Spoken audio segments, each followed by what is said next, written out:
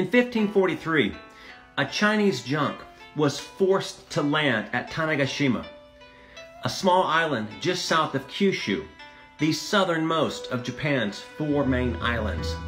On board the ship were two or three Portuguese merchants. These merchants became the first Europeans to ever step foot in Japan.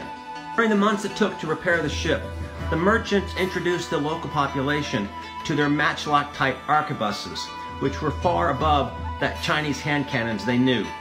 The local clan leader was so impressed, he acquired a few of them for his own. The gun, later called the Tanegashima, would spread throughout the island and made its mark on Japanese history. Today, Tanegashima has a different place in Japanese history. It is the home of Japan's space program. If you like my Japanese history videos, please follow me, like, and or subscribe to my feed. Thank you very much.